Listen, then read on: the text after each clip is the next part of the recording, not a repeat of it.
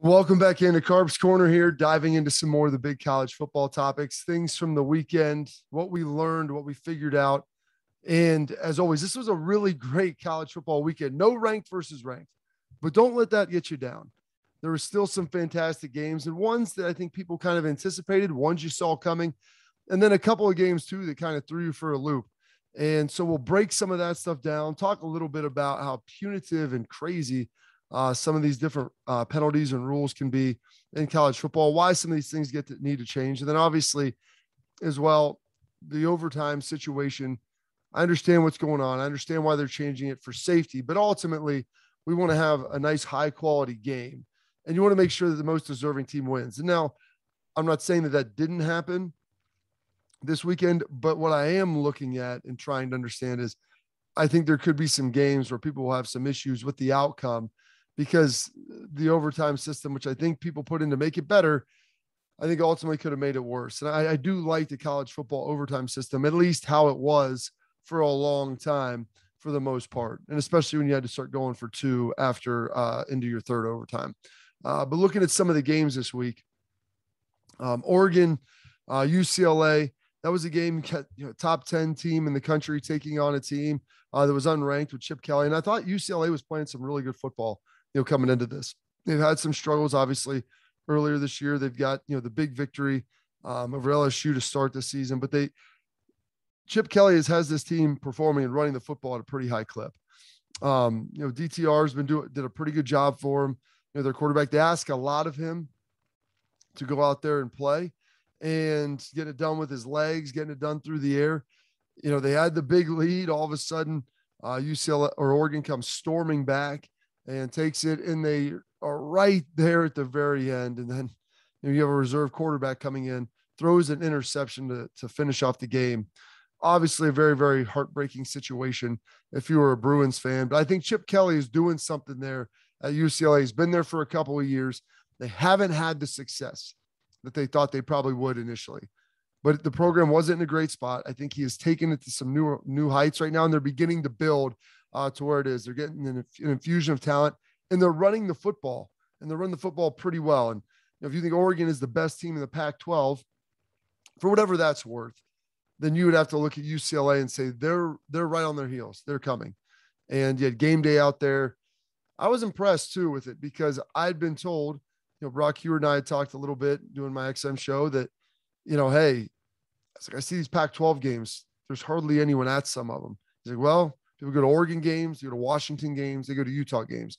And you know, while the Rose Bowl wasn't full and while they have a decent percentage of it tarped off, it still seemed like there was some passion there. There's still fans out there in the morning, getting out there at six o'clock for game day, local time on the West Coast. So I respect that. And maybe we'll begin to see a little bit of resurgence of football out on the West Coast. Who knows? Uh, but it's exciting to kind of see that. And hopefully that will continue to grow because that's the one thing, man. The the West Coast, like the UCLA's, Stanford's, the Oregon's, uh, the USC's, like I enjoy college football when those teams are better. It's no fun to me when you don't have something.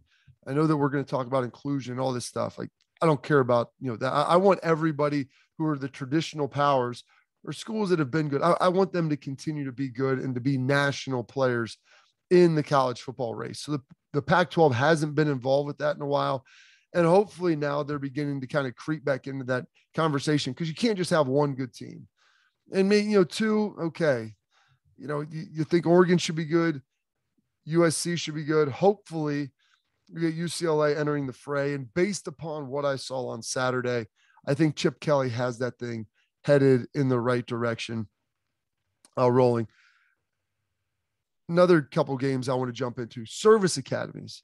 It's been a long time. And when I say long time, meaning probably before the advent of the previous button, that I'm sitting there in the early slate window and I'm oscillating back and forth between two service academies Navy, Cincinnati taking on Navy up there, and then uh, Army uh, getting a visit from Wake Forest.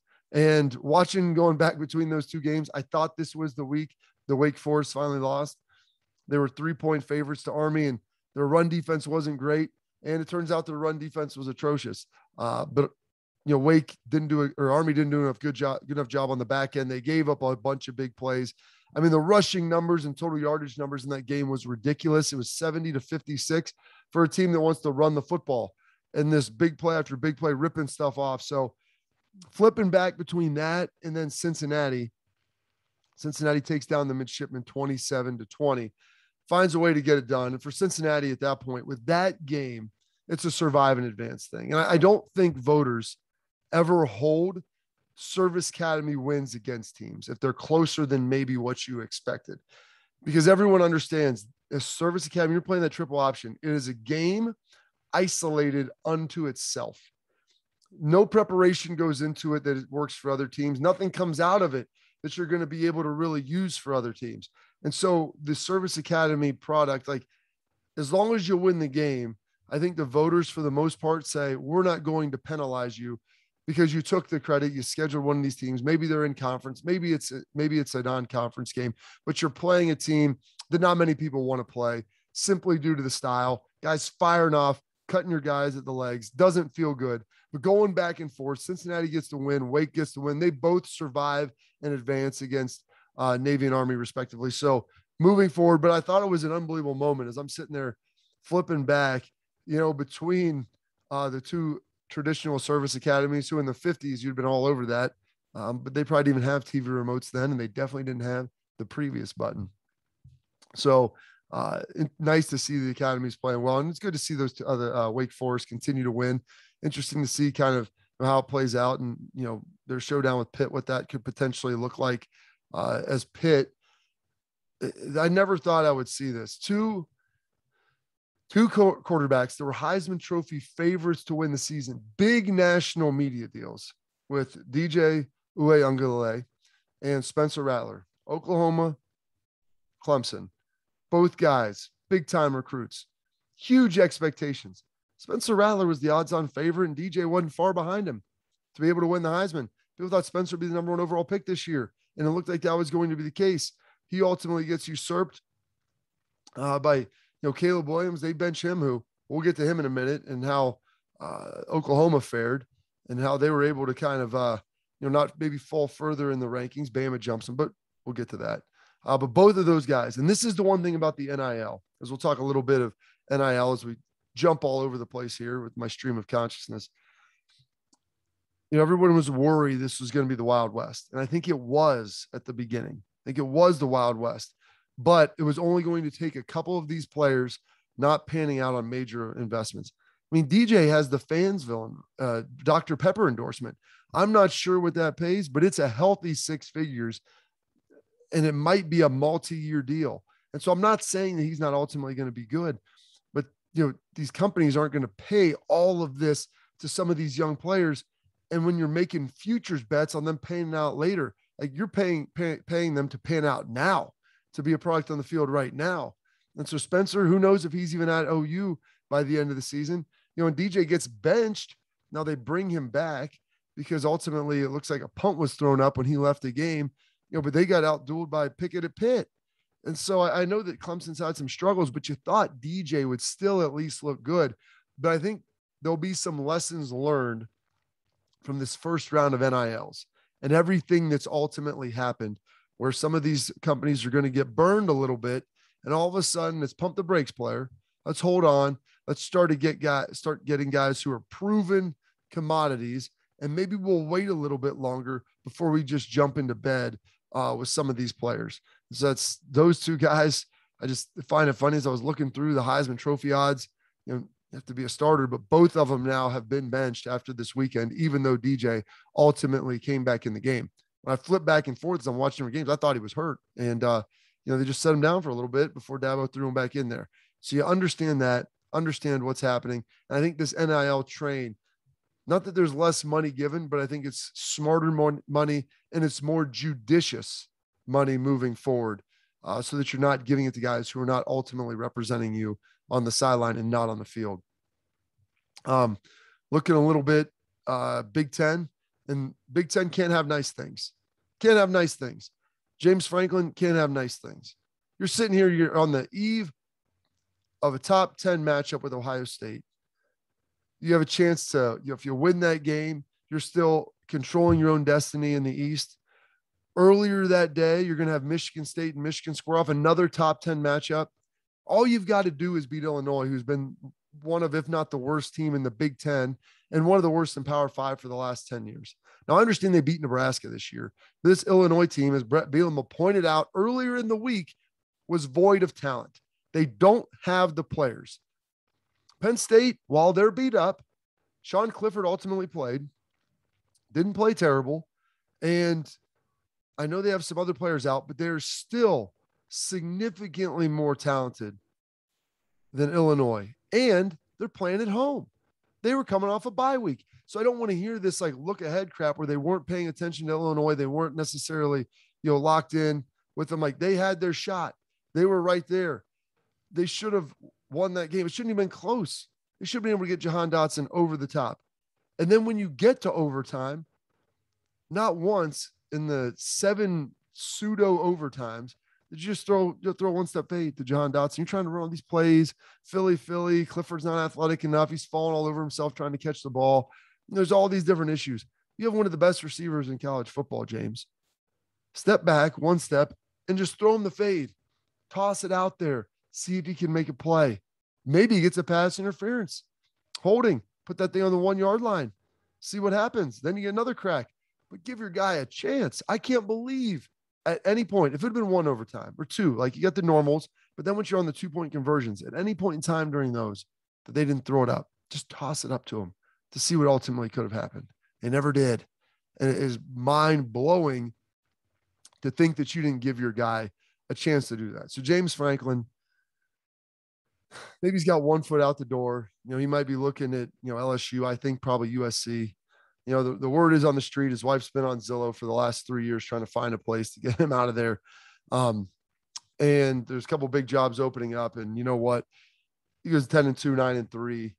I mean, he he has a good shot at getting one of those. And I think even, you know, even if he goes eight and four, he'll have a pretty good shot at being able to land one of those big jobs. See him a little bit more out in California than I ultimately see him at LSU. But who knows? We'll see what, what's offered out there and what choice he ultimately has. If he has a preference and if he is basically given the option between the two schools. That's one reason. Second reason is that the Big Ten can't have nice things is Purdue. Purdue, you got all set up. You beat Iowa, you beat them on the road. You know, now you have Wisconsin coming to home, coming to your house, a team that's very similar to Iowa. If you can get up on them early, you can get them out of running the ball. Put it on Graham Mertz to go beat you. He can't. Graham Mertz is not going to beat you. But ultimately, they're not able to do it. Wisconsin's able to pound the football to the tune of 290 yards. You lose the game 30 to 13. You have three interceptions. I mean, like it's it's it's not it's just not a great situation. Not a great situation at all. I mean, I'm sitting here watching this, trying to figure it out. Like, why Purdue? Why, why aren't we? You should have some big plays to Bell over the top. They should have been able to do that again. They couldn't execute and they could not stop the run. And I know that they can't run the football. They had negative 13 yards. It takes a special type of inefficiency, a special type of just a putrid performance up front to have negative 13 rushing yards. I know sacks are included in that but it, it's unbelievable that that should never happen. Should never have been the case, but it ultimately was against Wisconsin. So Purdue, who just creeps into the top 25, looking good. They beat Iowa. They're controlling, you know, their own destiny, and then they ultimately lose. I mean, uh, losing, you know, and then you've got the albatross. You know, just, you lost to Notre Dame. Like that's a quality loss. People are going to look at that and say it's all right, but you lose now to Wisconsin like Wisconsin might win the West. It's going to be a mess. We'll see. I ultimately think Minnesota probably gets it done, which isn't the best for the Big Ten. You'd still want to have Iowa win out, who's ranked ninth, but you'll take what you can get over there. But you have two ranked teams fall to teams that they shouldn't in the Big Ten, just as you're about ready to push through, just as you're close. You can't do it, and you throw out a stinker there. Uh, looking a little bit, Josh Heupel, impressed what he has done at uh, at Tennessee. They're sitting there down a score 24 17 at the third quarter against Bama. You know, Bama's been all over the place this year. Like they've had a lot of inconsistencies on defense. They ultimately scored 20 in the fourth and run away with that thing. But as I'm watching it, like they're moving the football, Tennessee, that is, and they're able to kind of keep pace. I think the Bama offense is playing pretty well. Bryce Young's doing a pretty good job. But just defensively, there's been uncharacteristic mistakes for Saban coach defense. And now I know what you're saying. Like Nick Saban always gets those corrected, and he he generally does. His teams are much better at the end of the year than they are at the beginning. Same way with Bill Belichick. It's a testament to how good of football coaches they are. But sometimes some of those mistakes, you know, if the players keep making them, either A, got to get new players or B, find a way to like coach them better. And I know Nick's coaching as good as he can. And so sometimes players are just apt to make mistakes. And if you can't replace them with someone better, well, you just kind of have to live with it. So we'll see. And it's important to monitor because Bama, there's weeks where they look nails and they come out and it's a big game and they look great. In this game, I understand it's not the rivalry that it used to be, and they've won, you know, 15 straight or whatever it is, they being Bama. But eh, there was some juice behind this game. And Bama came out and Tennessee matched them for a half and really through three quarters was able to kind of keep pace with Alabama, you know, and move forward. Um, so Josh Heupel got that thing pointed in the right direction as well. So Tennessee, I think you've got the right guy there. Just got to stick with him and allow him to continue to recruit and give him the support he needs and understand that it's not always just going to be this linear rocket ship. There'll be some bumps in the road, some ebbs and flows as this thing begins to move on. Um, now getting to uh, the Big 12. Now, Oklahoma falls in the polls. They're jumped by Bama. You know, if it wasn't for a, a fumble late, I mean, Kansas may have had a shot to ultimately win this thing. And I hear people talking, some of these national pundits, about you know, Caleb Williams having Heisman moments against Kansas. Really? Kansas. Okay. Caleb Williams, I think, is playing pretty good. You know, he played a decent game, you know, fairly mistake-ish free. You know, has the interception, but didn't have big passing numbers. It wasn't like he threw for 300 yards. He didn't even throw for 200, you know, and they're, they're up against it. Kansas is up on them. Now, granted, they did some things really well. Kansas, that is. They survived the game and so they win. But Kansas, I put in that same bucket as Illinois, is that they they're battling for the bottom of the group of five. And you know, give it up to uh, Jason Bean, I believe, the quarterback for uh, Kansas. Man, he went out there and battled. You know, obviously, they don't have the skill to be able to battle back and forth, um, battle back and forth with OU. But I was just amazed that OU, you know, only fell one spot. They're jumped by Bama. I mean, if you're gonna have someone jump them, I figured it'd be Bama and Ohio State that would have probably jumped them. You slide OU back to five based upon that performance. I think OU is a decent team. They just have yet to kind of put all that stuff together. And so they're battling a little bit right now. But you know, the two things I want to try to focus on here and dive in. Number one, you know, Iowa State getting it done over Okie State. Brock Purdy, fantastic job. Played a really good game. About 300 yards passing, couple touchdowns. Xavier Hutchinson, the dude, getting it done in a big way. Their star wide receiver, buck 25 through the air, a couple of TDs. As the Cyclones top Okie State 24 21 and still control their destiny now in the Big 12. They'll have you know a showdown with Oklahoma. We'll see how that all shakes out. Uh, but they've got the non-conference loss to Iowa and a loss to Baylor that was close. So Matt Campbell's team may be hitting their stride at the right time. But the big thing out of that game, Xavier Hutchinson scores a long touchdown run. They call taunting, excessive celebration. I'm not even sure really what it is because he kind of looks over his shoulder at the five yard line and then, you know, little bit of a prance, but there's no taunting, there's no malice. So they throw the flags. And here's the crap of college football is the fact that it's not a dead ball foul. So it's a spot penalty. So the touchdown doesn't count. They take it from the five back to the 20. Now, oh, Iowa State ultimately goes down and scores. And so it, and, and Hutchinson gets his touchdown. And so I kind of all's well that is end well that wins the game, but they've got to reevaluate that rule.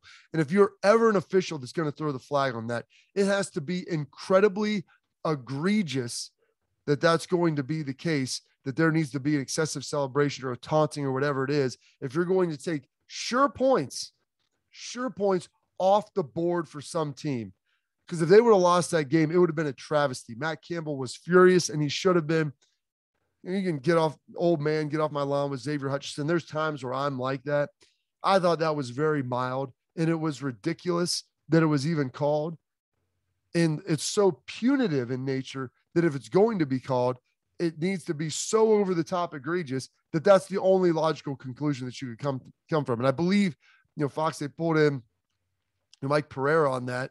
Uh, he's like sitting there trying to find what he saw. I, I didn't see anything that was worth worthy of even a penalty, let alone a penalty that's going to take points off of the board that are sure points. That is ridiculous.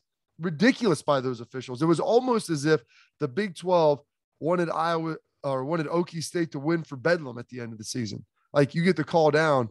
Yeah, that's right. That's right. Dump the flag. Dump the flag. And so they all, like I said, all's well that ends well, and they won. So it's all good. But that needs to be examined and it needs to probably be changed to where it's a dead ball penalty if you're going to throw it and be the no fun police. Now, the overtime situation. My goodness, I don't know who thought this up, and on paper it sounds good, but going to two point conversions after two overtimes is is lunacy. And then you're changing sides of the field because I understand Penn State wants the student section behind them. Illinois doesn't. So whenever they get to choose of who's playing offense, who's playing defense, and you get the second choice of field position, you're walking the other end. And so seven times they walked back and forth, 200 yards. I mean, they're walking almost, and they're walking it during the main ones too. Nine overtimes. You're walking basically a mile in between overtimes that are going like this. The last seven were one play, one play. And I think people thought it'd be easier to score on overtime and two point conversions. I don't know. But listen, NCAA, it, it's not that I don't like this. I don't like it. You're going to sit here and tell me it's the longest game ever. Sure. Nine overtimes, longest game ever. They're one play overtimes per possession for each team. It's two plays. Two plays. Should it get to that point? Crazy town. We don't need that stuff. Go back. And I know that we want to get away from those six, seven overtime games that have taken forever but still, that that that's the the aberration, not the rule. That stuff happens every once in a while. It doesn't happen every year, every week. So go back to the old overtime system. I hope they analyze it and go back. And they're going to sit here and try to say it's for player safety and all these things.